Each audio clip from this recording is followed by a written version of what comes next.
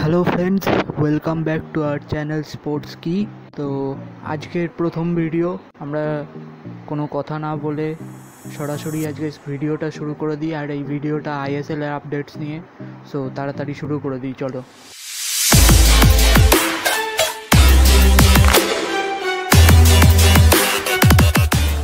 So ফার্স্টে যে খবরটায় আসছি, সেটা হচ্ছে চৌত্রিশ বছর বয়সী পাওলো মাচাডো, যাকে মুম্বাই সিটি এফসি দশ নম্বর জার্সি দিয়েছিল লাস্ট সিজনে তার সাথে সম্পর্ক বিচ্ছিন্ন করল। এই খবরটা মুম্বাই তাদের অফিসিয়াল সাইটেও দিয়ে দিয়েছে এই পর্তুগিজ মিডিয়া। লাস্ট সিজন নটা ম্যাচে মাত্র একটা গোল আর একটা অ্যাসিস্ট রেখেছেন। তো যেটা সেকেন্ড খবর, সেটা হচ্ছে জ্ঞান আসামোয়া। সো জ্ঞান আসামোয়া আর বার্তলমিও বেচে। এদেরকে শোনা যাচ্ছে, আবার একসাথে নর্থ ইস্ট ইউনাইটেডে দেখা যেতে পারে। এমনটাই রব উঠেছে আকাশে। কিন্তু মার্কাস মারহুলো টাইমস অফ ইন্ডিয়ার রিপোর্টার, কিন্তু বলে দিয়েছে, মুম্বাই সিটিতেই ও বেঁচে যাচ্ছে। তবে কতদূর এই জলটা গড়াবে, সেটা অবশ্য জানার বিষয়। আমাদের সো, আসামোয়া আর ওক বেঁচে একসাথে আসবে বলে আমাদের মনে হয় না।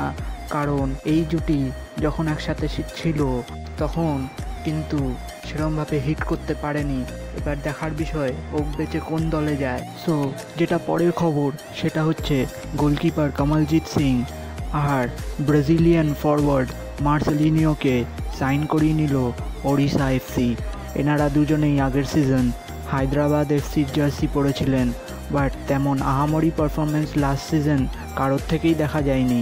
এবার দেখার বিষয়, ওড়িশা জার্সিতে মার্সেলিনিও আর গোলকিপার কমলজিৎ সিং কেমন পারফর্ম করে? কারণ মার্সেলিনিও কিন্তু এখনও পর্যন্ত যে কটা আইএসএল সিজন হয়েছে, তাদের মধ্যে থার্ড হাইয়েস্ট গোল স্কোরার পরের সিজনে সুপারস্টার কি হয়ে যাবে? মার্সেলিনিও সেটা জানতে হলে কিন্তু আইএসএল টু থাউজেন্ড টোয়েন্টি থেকে টোয়েন্টি ওয়ান সিজন চালু হতে হবে।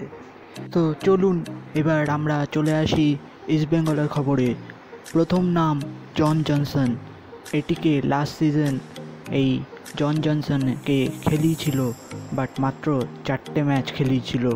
তার উপর একটাতে ইয়েলো কার্ডও দেখেছিল জন জনসন জানি না ইস্টবেঙ্গল কর্তারা জনসনকে কতটা নিতে আগ্রহী কিন্তু খুব একটা আহামরি প্লেয়ার যে নয়, জন জনসন, সেটা প্রমাণিত। এর আগে বেঙ্গালুরু জার্সিতেও জনসনকে দেখা গেছিল। এবারে কি? তবে লাল হলুদ জার্সি জনসনের?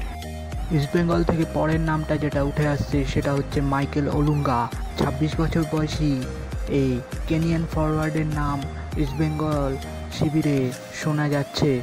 বেসিক্যালি স্যামিওমোলো যিনি কিনা দুই প্রধানেই খেলে গেছেন around nineteen ninety six suggestion দিয়েছেন মাইকেল ওলুঙ্গাকে। সে যেন ইস্টবেঙ্গলে খেলে। এর আগে Michael Japanese club Kashiwa Reysol খেলতো।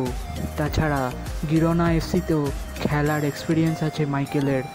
হাই প্রোফাইল প্লেয়ার বলা যেতেই পারে মাইকেল ওলুঙ্গাকে। এবার ইস্টবেঙ্গলের তরফ থেকে একটা রেকর্ড ব্রেকিং নাম উঠে আসছে। ইস্টবেঙ্গল শিবির কিন্তু অলরেডি এই নামটা ছড়িয়ে দিয়েছে। সেই নামটা কি আপনারা গেস করতে পারছেন? মেসি অ্যাগোয়েরো ডি মারিয়া এদের সাথে খেলা ডিফেন্ডার পাবলো জাবায়াতা খুব বড় একটা নাম ইস্টবেঙ্গলের তরফ থেকে। এর আগে ওয়েস্ট হ্যাম খেলতেন পাবলো তার আগে ম্যানচেস্টার সিটি স্প্যানিয়লের মতন বড় বড় টিমকে সার্ভিস দিয়ে এসছেন পাবলো জাপায়াতা এই ট্রান্সফারটি রেকর্ড ব্রেকিং হবে, এটা তো এই আইএসএলের জন্য বোঝাই যাচ্ছে।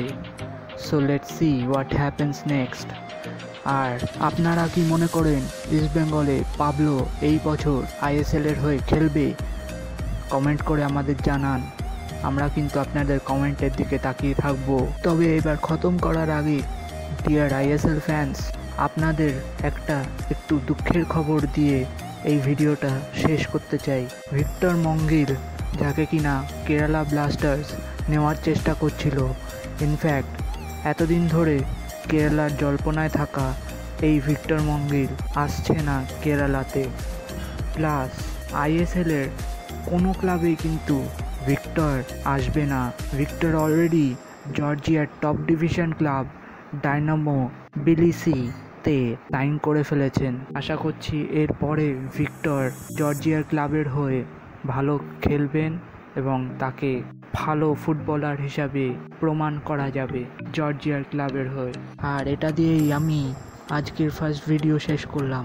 তবে শেষ করার আগে একটাই অনুরোধ যে আপনারা প্লিজ লাইক করুন এই ভিডিওটা আর এরকম আপডেটস পাওয়ার জন্য চটপট সাবস্ক্রাইব করে বেল বাটনটা ক্লিক করে নিন, যাতে এরকম আপডেটস সবার আগে আপনি পেয়ে যান।